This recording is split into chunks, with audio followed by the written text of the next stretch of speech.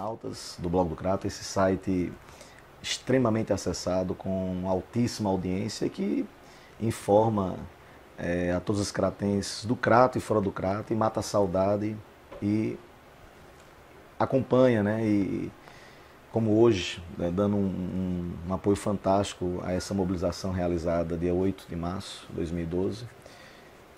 Mas antes, Dielso, eu queria fazer aqui, é, fazer um certo resgate, porque a questão do canal ela se arrasta por muito tempo. Quer dizer, eu me recordo quando a realização, eu, que não sou tão velho assim, mas que ainda tomei banho nas águas é, do canal, quando não era tão fétido como é hoje, nós brincávamos de pescar, enfim.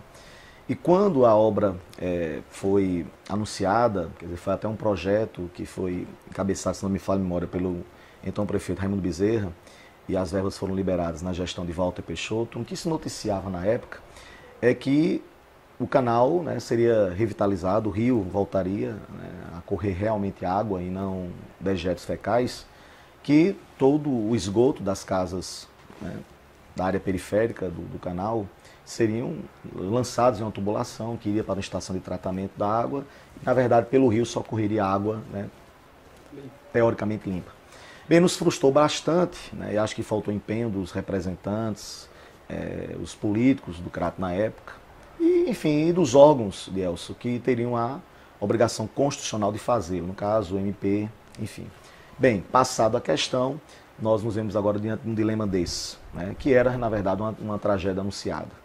Quer dizer, o canal uh, do Crato há muito tempo deveria ter passado por uma reparação, né, e a, as pessoas falavam muito que o canal deveria é, ter merecido mais atenção na parte da limpeza, mas realmente reconhecendo que diante do volume das águas torrenciais que caíram, né, que assolaram o Crato em 28 de janeiro do ano passado, não seria uma limpeza que realmente iria que, seria, que, que iria segurar né, tamanho volume. Mas aí o que é que ocorre, é, Dielso? Já se passaram 14 meses e o canal ainda se encontra na situação que está. Quer dizer, o governo do Estado, é conhecendo os avanços do governo, quer dizer, em nenhum momento nada pessoal, mas é, é, nos deixa, quer dizer, nos angustia muito. Quer dizer, o governo do Estado, que teve uma ampla, é, uma esmagadora maioria na cidade do Crato, o governo federal também, e o Crato, Elcio, pela importância histórica, nós somos a quinta vila do Ceará, quer dizer, uma terra histórica reconhecida, a terra onde nasceu o Padre Cícero, a segunda cidade metropolitana, e realmente nos deixa extremamente é, tristes com o papel secundário que o Crato vem ocupando nas políticas públicas de dimensão mais relevante. Quer dizer, o Centro de Convenções é apenas um, uma, uma, abordagem periférica para nós depois trabalharmos a questão central. O Centro de Convenções foi a primeira obra das grandes na região do Cariri que né, é, começou a, a, ser realizado. Está aí, já se concluiu a SEASA, já se, já se concluiu o Hospital Regional. Concordo, o Hospital Regional deveria ficar realmente onde ele ficou, em uma região, né, digamos, quase no centro de um triângulo. Realmente reconheço, deveria ser. Mas aí o, o, o, o Centro Questões está aí, o que pelo menos eu escuto que se alega é que uma empresa não se habilita a concluir. E eu volto e trago essa questão para a questão do canal, que esse é um argumento usado, pelo menos foi o que se posicionou o representante do DER né, entrevista dada à TV Verdes Mares, não me recordo do dia, que nenhuma empresa se habilitava a realmente realizar a obra. Aí eu te pergunto, e também é uma pergunta que espero que algum representante do governo é, nos assista e depois responda. É, não é um pedido meu, é da sociedade cratense. E se nenhuma empresa se habilitar a fazer o canal? Quer dizer que não vai ser feito? 250 milhões estão previstos para a construção de um aquário em Fortaleza. E quer dizer que o Crato, que não é uma questão estética, né? quer dizer, é uma questão de essencial para a cidade. Quer dizer, além da obra não ter sido feita a contento como deveria ser feita, né, esteticamente ela é horrível. Ela é horrível. Aquilo ali depois vai servir de malocas de insetos e vai ser, na verdade, um centro de epidemias no centro da cidade do Crato. Então, na verdade, que não é querendo fazer política partidária, eu tenho minha filiação partidária, não escondo a ninguém, mas o que hoje nós encabeçamos foi um movimento suprapartidário. Tanto é que fomos a todos os meios de imprensa, escrita e falada, e convidamos a todos. Tanto é que muitos aqui eram de outras agremiações partidárias. E nós deixamos muito claro que o movimento era um movimento da sociedade cratense. Nós, eu como membro de uma, de uma entidade ambiental, participei de uma, de uma mobilização em, em dezembro, encontrei a Tereza Pinheiro em uma outra manifestação dos próprios moradores e nós é, resolvemos unir as nossas forças porque eu sou professor na, na, na, cidade do Crato há quase 15 anos, sou cratense, e eu tenho um compromisso, é, Deus, com as pessoas que efetivamente amam essa cidade.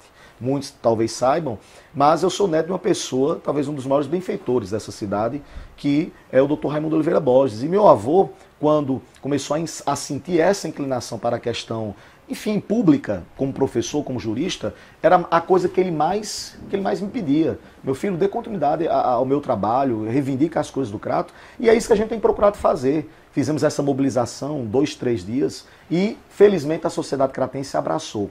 Então o que nós pedimos, e também como cidadão exigimos, é que, primeiramente, o MP, o Ministério Público, cumpra a sua função constitucional, fiscalize a obra, fiscalize a obra e dê eh, os devidos né, encaminhamentos judiciais, se necessário for. Que a empresa Coral, que a empresa, pelo menos como empresa, como uma entidade comercial, ela responda à sociedade do Crato, até pelo que me consta das licitações, há um prazo, há um lapso temporal que uma empresa, uma construtora, ela responde, ela deve garantir, ela deve garantir a obra. E o governo do estado, realmente reconheço, faltou ao gestor municipal do Crato, e não é questão atual, desde quando ele foi feito, desde quando foi feito, dá uma devida manutenção. Eu não me recordo, e muitos falavam aí, que não se lembram de, de, de qualquer limpeza mais efetiva, mais sólida, desde 2003.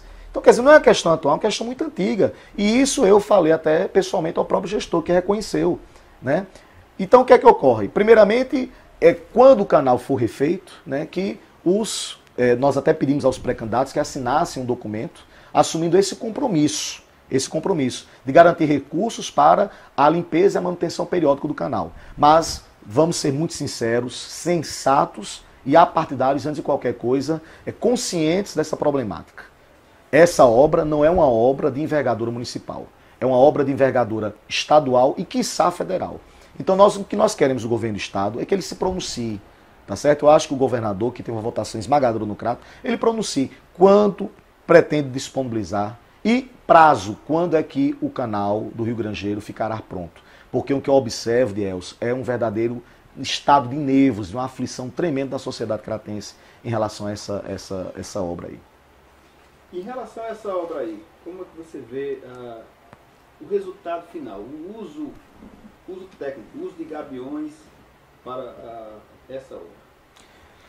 Deus, eu sinceramente eu costumo andar muito por aí. Eu nunca vi um canal ser feito da forma que ela foi feita. Até me falaram que gabiões até podem ser usados em canais onde não há curso né, de águas violentas.